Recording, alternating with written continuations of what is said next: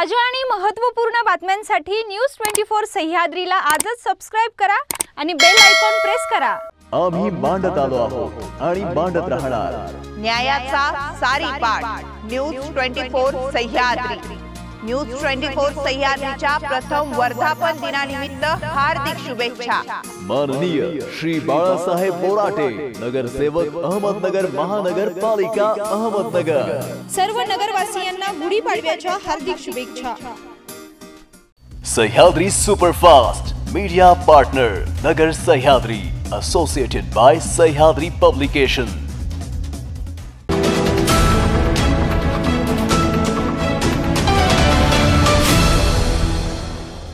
नमस्कार मी प्रिया आपण पाहत आहात न्यूज ट्वेंटी फोर सह्याद्री. पाहूया देशातील राज्यातील आणि जिल्ह्यातील महत्त्वपूर्ण बातम्यांचा सुपरफास्ट आढावा.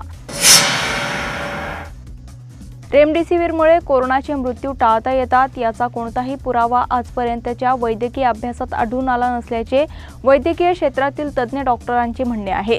नुकताच जागतिक आरोग्य संघटनेने प्रसिद्ध केलेल्या अहवालातही रेमडेसिवीरच्या वापरामुळे मृत्यू दरात कुठेही घट झाल्याचे आढळून आले नसल्याचे स्पष्टपणे नमूद करण्यात आले.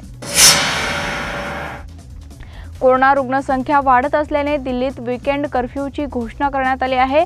कोरोनाची साखळी तोडण्यासाठी विकेंड कर्फ्यू लावत असल्याचं अरविंद केजरीवाल यांनी सांगितलंय. अरविंद केजरीवाल यांनी राज्यातील जनतेशी व्हिडिओ कॉन्फरन्सिंगच्या माध्यमातून संवाद साधला. यावेळी त्यांनी ही घोषणा केली. दरम्यान कर्फ्यूमध्ये अत्यावश्यक गोष्टींना परवानगी असणार आहे. आधीपासूनच नियोजित लग्नांसारख्या महत्त्वाच्या गोष्टींना कर्फ्यू पासच्या माध्यमातून परवानगी असेल असं अरविंद केजरीवाल यांनी सांगितलंय. बेळगावात लोकसभा पोटनिवडणुकीत शिवसेनेने जोरदार ताकद लावली आहे. महाराष्ट्र एकीकरण युवा समितीकडून शुभम विक्रांत शेळके हा सव्वीस वर्षाचा तरुण लोकसभेच्या रिंगणात आहे. त्यासाठी शिवसेनेनेही जोर लावलाय. कोल्हापुरामधील हातकणगले लोकसभा मतदारसंघाचे खासदार धैर्यशील माने यांनी बेळगावात तळ ठोकला आहे. नुकताच शिवसेना खासदार संजय राऊत यांनी बेळगावात रोड शो आणि जाहीर सभा घेतली. त्यानंतर खासदार धैर्यशील माने यांनी आज सायकलवरून फिरून प्रचार केला. शासनाने संचारबंदी जाहीर केल्यानंतर सोलापुरात अनेक नागरिकांनी रस्त्यावर मोठी गर्दी केल्याचं दिसून आलंय. त्यावर आता पोलिसांनी कडक कारवाई करत तीसहून अधिक लोकांना ताब्यात घेतलंय. शहरात अनेक चौकात पोलिसांनी नाकाबंदी केली असून अत्यावश्यक कारणाशिवाय बाहेर पडणाऱ्या नागरिकांवर कारवाई करण्यात येत आहे. राज्यात कोरोनाचा प्रादुर्भाव दिवसेंदिवस वाढत आहे त्यामुळे नागरिकांना जीवनावश्यक बाबींचा तुटवडा भासत आहे.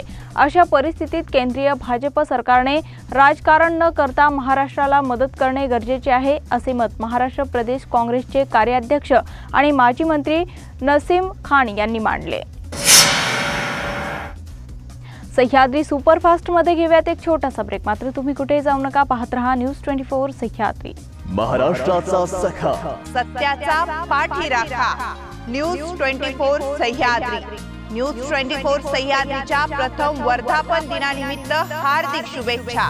अहमदनगर शहराचे महापौर माननीय बाबासाहेब वाकळे आणि भारतीय जनता पार्टी अहमदनगर. सर्व नगरवासियांना गुढीपाडव्याच्या हार्दिक शुभेच्छा. ब्रेकनंतर पुन्हा एकदा आपले स्वागत पाहूयात पुढच्या बातम्या.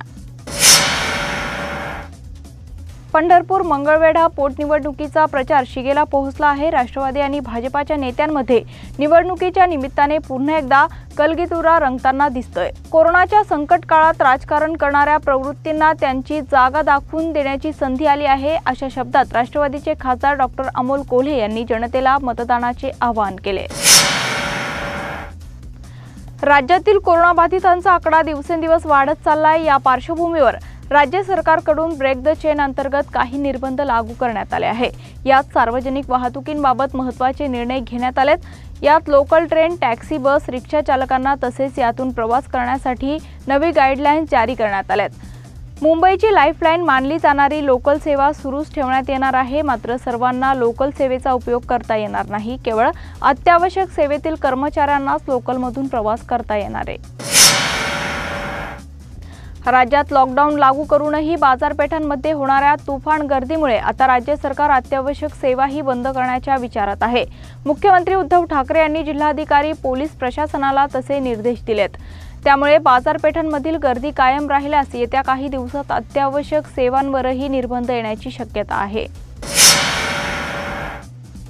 पोलिसांच्या मारहाणीत औरंगाबादमध्ये सलून व्यावसायिकाचा मृत्यू झाल्याचा आरोप करत काल उस्मानापुरा पोलीस ठाण्यासमोर मोठा जमाव जमला होता. मात्र आता या घटनेत एक ट्विस्ट निर्माण झाला आहे.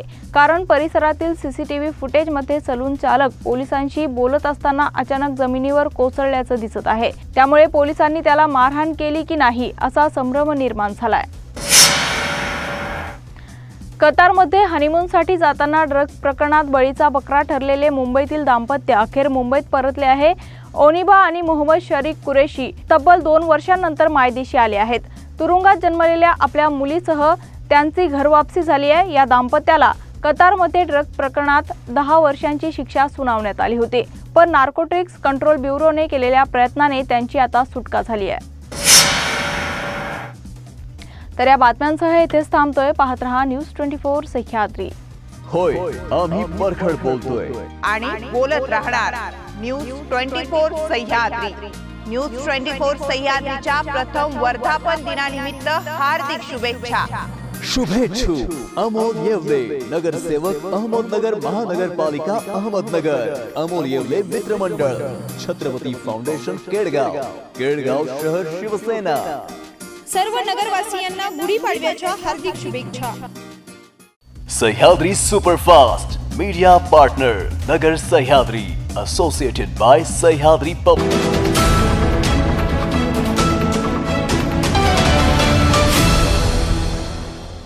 शब्दांचं सामर्थ्य, विश्वसनीयतेची उंची न्यूज़ ट्वेंटी फोर सह्याद्री.